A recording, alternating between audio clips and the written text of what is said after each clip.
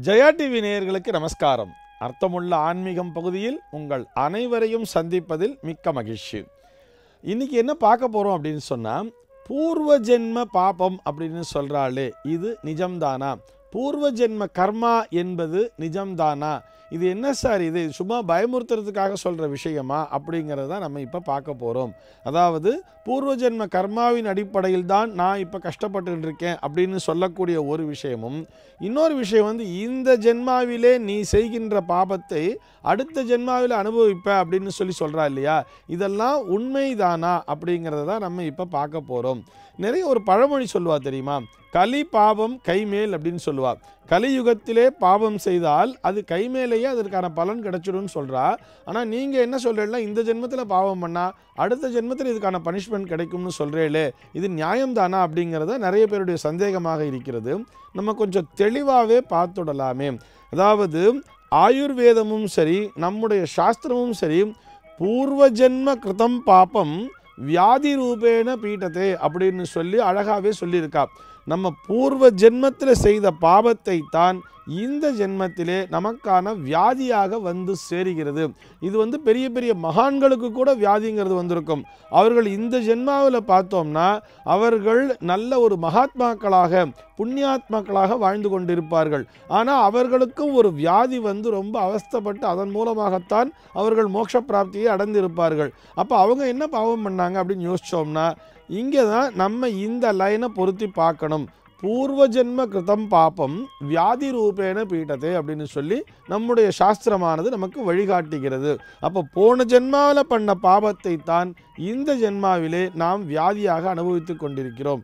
அதே மாதிரி தானே இந்த ஜென்மாவில் ஒரு பாவம் பண்ணால் அது அடுத்த ஜென்மாக்களுக்கு கண்டிப்பாக நமக்கு பலனை தரும்.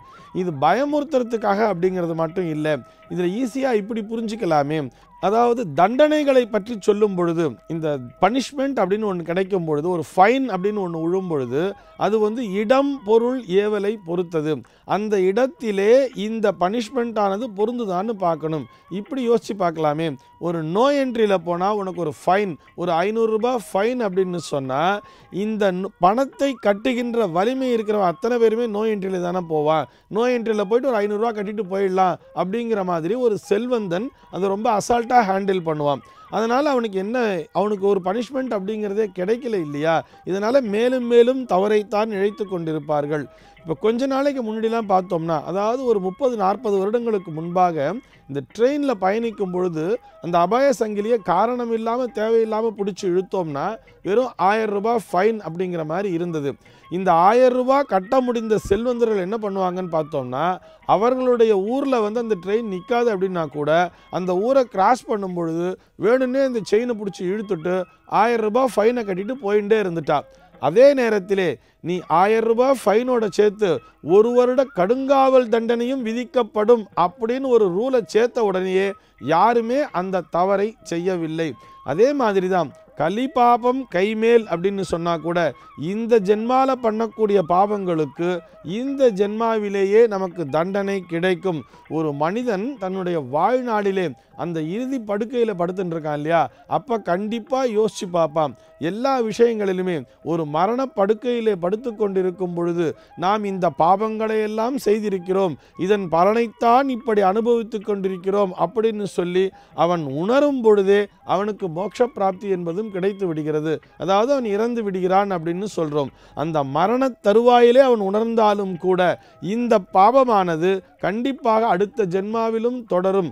ஒரு பனிஷ்மெண்ட் வந்து ஒரு சாதாரண பனிஷ்மெண்ட்டாக இல்லாமல் ஒரு இம்ப்ரிசன்மெண்ட் ஒரு ஜெயில் தண்டனை அப்படிங்கிறது உனக்கு கிடைக்கும் அப்படின்னு சொல்லி ஒரு விஷயத்தை ஆட் பண்ணா இல்லையா?